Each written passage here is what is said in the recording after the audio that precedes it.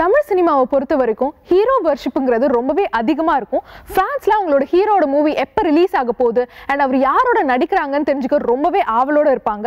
So இப்போ தமிழ் சினிமாவில் என்னென்ன மாதிரி மூவிஸ்லாம் ரிலீஸ் ஆக போகுது அண்ட் என்னென்ன மாதிரி மூவிஸ்லாம் ரெடி ஆகிட்டு இருக்கு நம்ம ஹேஷ்டாக் காலிவுட் அப்டேட்ஸ் போய் பார்க்கலாம். இன்னைக்கு ஃபர்ஸ்ட் ஃப்ரேமில் ஃபர்ஸ்ட் பார்க்க போகிறது ஹேஷ்டேக் ரஜினிகாந்த். இந்தியன் சினிமாவோட one of the most wanted ஹீரோவா இருக்கிற ரஜினிகாந்த் ஏஆர் முருகதாஸ் டைரக்ஷன்ல தர்பார் படத்துல மெயின் லீட்ல நடிச்சிட்டு இருக்காரு. நயன்தாரா ஃபீமேல் லீட்ல நடிச்சிட்டு இருக்காங்க.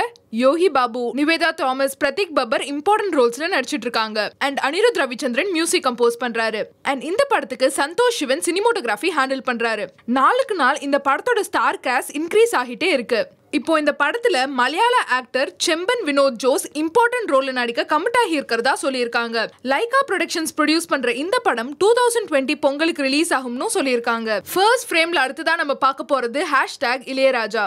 இந்தியன் சினிமாவோட லெஜெண்டரி மியூசிக் இளையராஜா தமிழ் ஹிந்தின்னு கிட்டத்தட்ட பத்து படங்களுக்கு மியூசிக் கம்போஸ் பண்ணிட்டு இருக்காரு.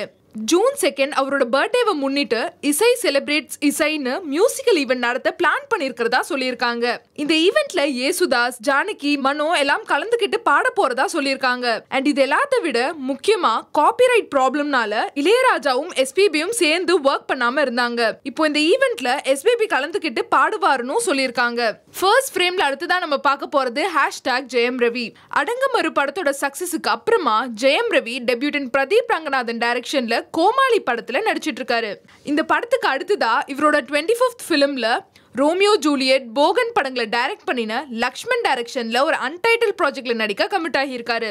இந்த படத்துக்கு அடுத்ததா வாமனன் என்றென்றும் புன்னகை மனிதன் படங்களை டைரக்ட் பண்ணின அகமத் டைரக்ஷன்ல ஒரு அன்டைட்டில் ப்ராஜெக்ட்ல நடிக்க கமிட் ஆகியிருக்காரு. இப்போ இந்த படத்துல தாப்சி பண்ணு ஃபீமேல் லீட்ல நடிக்க கமிட் ஆகி இருக்கிறதா சொல்லியிருக்காங்க. இந்த படத்தோட மத்த கேஸ்ட் அண்ட் குரூப் பத்தின டீடைல்ஸ் கூடிய சீக்கிரம் வரும்னு எதிர்பார்க்கப்படுது. ஃபர்ஸ்ட் ஃப்ரேம்ல அடுத்ததான் நம்ம பார்க்க போறது ஹேஷ்டேக் விஜய் சேதுபதி.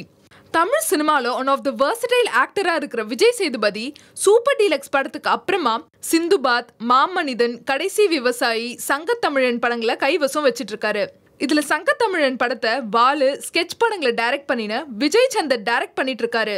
ராஷி கண்ணா நிவேதா பெத்ராஜ் ஃபீமேல் லீட்ஸ்ல நடிச்சிட்டு இருக்காங்க. அண்ட் சூரி இம்பார்ட்டன்ட் ரோல்ல நடிச்சிட்டு இருக்காரு. விவேக் மெர்வின் மியூசிக் கம்போஸ் பண்ணிட்டு இருக்காங்க. இப்போ இந்த படத்தோட ஃபர்ஸ்ட் லுக் போஸ்டரை இப்போ ரிலீஸ் பண்ணியிருக்காங்க. ஃபர்ஸ்ட் ஃப்ரேம்ல அடுத்ததான் நம்ம பார்க்க போறது ஹேஷ்டேக் சிவகார்த்திகேயன்.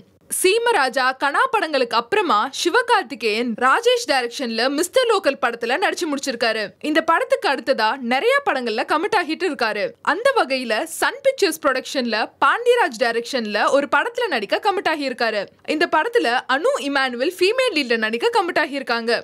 பாரதி ராஜா ஐஸ்வர்யா ராஜேஷ் இம்பார்ட்டன்ட் ரோல்ஸ்ல நடிக்க கமிட் ஆகி இருக்கிறதா சொல்லியிருந்தாங்க. இப்போ இந்த படத்துல Soori Yogi Babu Natty R K Suresh important ரோல்ஸ்ல நடிக்க கமிட் ஆகி இருக்கிறதா சொல்லியிருக்காங்க. அண்ட் இந்த படத்துக்கு டி இமான் மியூசிக் கம்போஸ் பண்றாரு and Nirav Shah cinematography handle பண்றாரு.